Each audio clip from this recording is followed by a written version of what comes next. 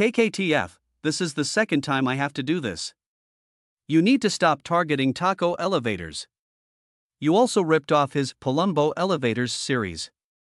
You know that he does not need any contributors, and also, that elevator in your Palumbo Elevators ripoff video is not featured in the Palumbo Elevators series. The elevators that are featured in the series is the 11th Street and 12th Street elevators at Tako Elevators' school.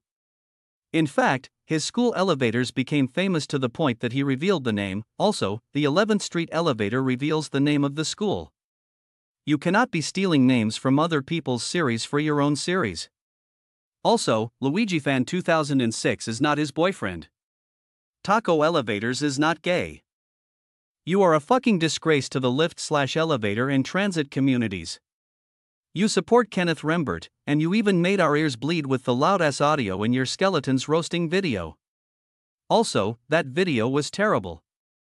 You even did it wrong.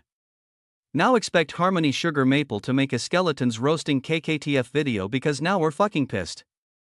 And also, you will now face Transitov San Pablo's belt.